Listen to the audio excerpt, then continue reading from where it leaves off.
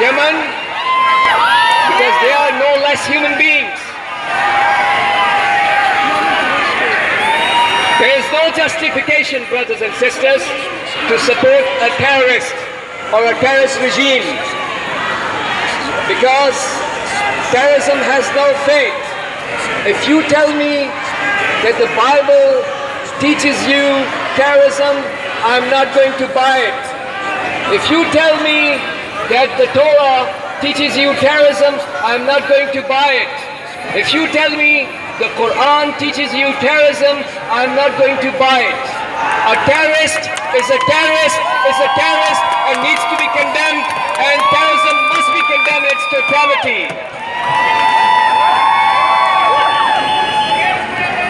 Our message, brothers and sisters, is the message of respect. If you see your Jewish neighbor, you must respect him. If you see your Christian neighbor, you must respect him. My faith teaches me to respect the Jews and Christians. My faith teaches me to respect the Torah and the Bible. But when it comes to Zionism, the things are different. Because Zionism stands for oppression. Zionism stands for occupation. Zionism stands for warmongering and false flag operations and violence and aggression. And there is no justification for killing any innocent person, regardless of his faith.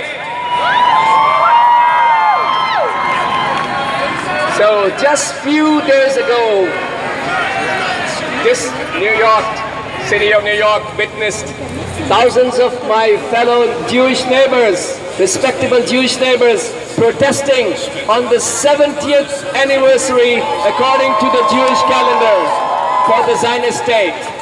New York witnessed thousands of honorable Jewish people protesting against the atrocities of the Zionist state and I witness that the Jews are one of the biggest victims of Zionism. And we support those Jews who are oppressed, whether it's inside the state of Israel or outside, because there is no justification for victimizing or killing or injuring any innocent person regardless of his faith. Brothers and sisters, killing of a pregnant woman is not self-defense. Killing of a disabled person is not self-defense. Killing of babies and women is not self-defense. And one word for those of my fellow Americans who call the Zionist entity to be our democratic ally, one word for them, the Zionist state is neither a democracy nor an ally. For that kind of ally to be on our side, we don't need any enemies.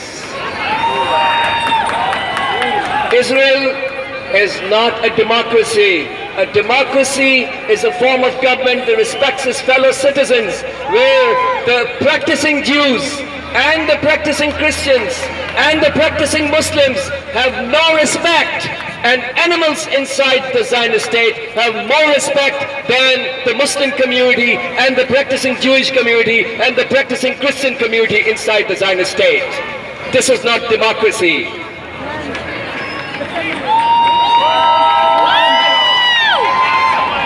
We as Americans, we as Muslim Americans demand our lawmakers, our Congress, to stop selling the arms to the Zionist entity.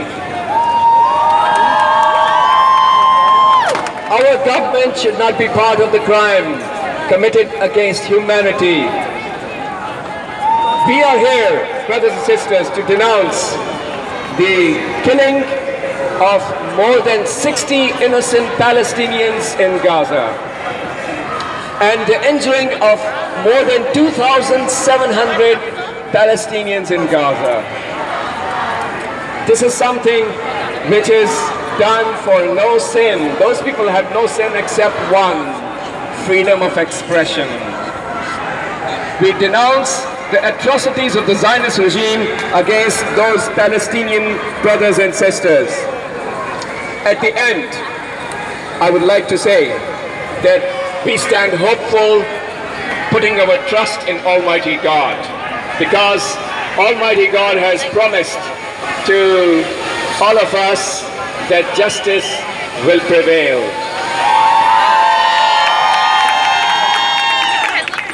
Brothers and sisters, you are the voice of conscience. You are the voice of justice. And you are the hope. And the true democracy, this is how the true democracy looks like. We shall not be intimidated by fear-mongering. Because, as they say, fear is a choice. It's not the way to go It's the way to go for those who have a decline in values. Our faith teaches us the values of humanity, and thus we are never intimidated by the fearmongers and the warmongers who are selling their wars for the benefit of the corporations, for the benefit of the banks, at the cost of countless innocent civilians being massacred.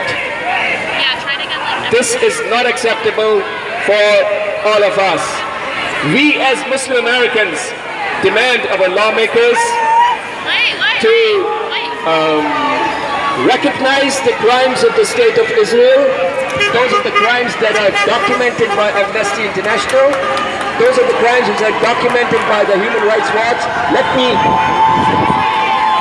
let me quote here from Philip Luther, Research and Advocacy Director for the Middle East and North Africa for, for the Amnesty International. Mr. Philip Luther says, this is another, and I quote, this is another horrific example of the Israeli military using excessive force and live ammunition in a totally deplorable way.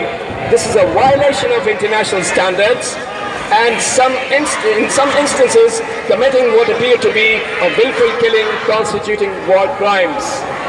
And Human Rights Director, the decision, recent decision from the State of Israel is to expel the Human Rights Director. At the end, I end my speech with a promise. I promise to all of you that we will prevail